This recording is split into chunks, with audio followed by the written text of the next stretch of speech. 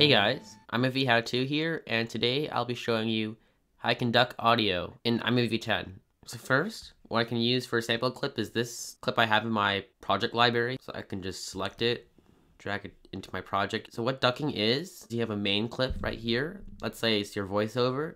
And then you have a background clip, like a music track like this, down here. So what ducking allows you to do is lower the volume of the surrounding tracks while the main clip right here is playing.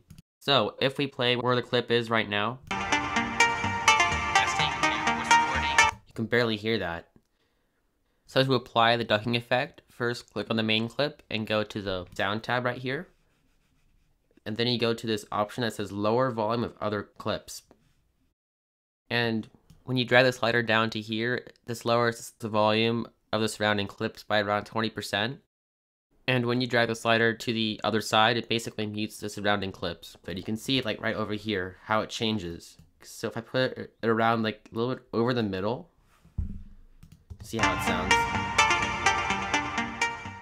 Testing a voice recording, one, two, three, test, one, two, three, testing. You can see that's a lot easier to hear, but you can still hear the music, background music behind it. So it's a good technique to use. Just for demonstration, you can just pump it to all the way to 100%, and then all you hear is only the voiceover, so the music just fades out. Testing a voice recording, one, two, three, test, one, two, three, testing. Though what happens also is if you put it on the very lowest setting, it isn't as effective as the higher setting. Testing a voice recording, one, two, three, test, one, two, three, testing.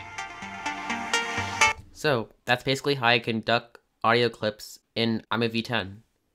Thank you for watching this iMovie tutorial. If you liked this video or thought this video was helpful, be sure to press the like button, comment, share, and subscribe to see more videos like this. Thanks for watching and see you next time.